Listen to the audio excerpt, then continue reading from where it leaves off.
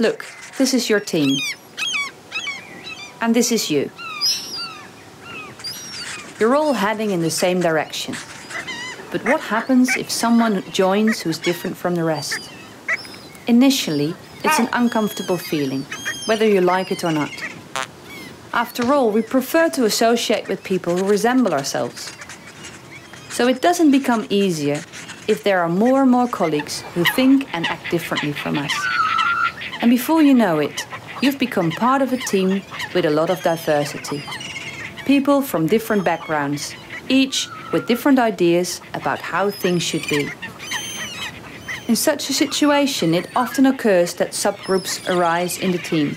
That's because we don't get on so easily with them, but also because they prefer to deal with colleagues who resemble themselves. The breakdown of such a group is called fragmentation. Fragmentation is something that occurs in almost every organization, sometimes a little, sometimes a lot. Colleagues from other cultures are often noticeably different. But how about the less visible differences? Team A thinks it's better than Team B. The better educated will hardly mix with the less educated. Departments fight each other for budgets. Also, people who are alike in terms of style of character often seek each other out. For example, you see that all the macho types are in leadership functions, or everyone in a particular team has a lot of empathy. That is fragmentation. And the best place to see it in action is in the company restaurant, where everyone always sits with their own subgroup. Now you may be thinking, why is that bad? Indeed, a little fragmentation isn't so bad. However, fragmentation tends to reinforce itself.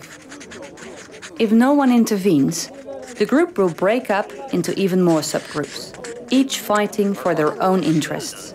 It then becomes us against them, and those with the biggest mouth will succeed. And that really is a problem. In the world of today, a fragmented organization will miss the boat. Because all the energy spent on internal struggles is not directed to the purpose for which the organization exists. This not only damages the organization's customers, but also the organization itself. And of course, it costs a lot of money. Fragmentation also harms teams, because a team can only function when information is exchanged. Through fragmentation, the exchange of information falters or even comes to a complete halt. Fragmentation harms everyone working in such an organization. When people are excluded, when prejudice flourishes, if you can't say what you think, then it's a pretty horrible experience and also means you can never do your job well. Fragmentation leads to underutilization of human resources and a waste of talent.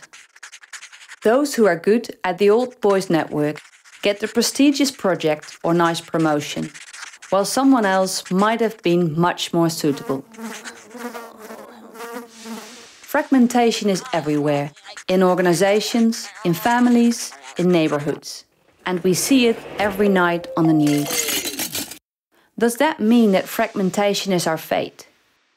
Are we as people made in such a way that differences will always cause trouble? No, that's not the case.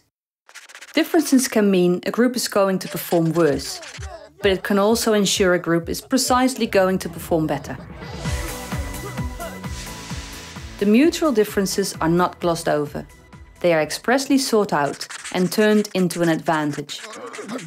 This way of working, where everyone's talent is utilized and all viewpoints are heard, is called inclusion.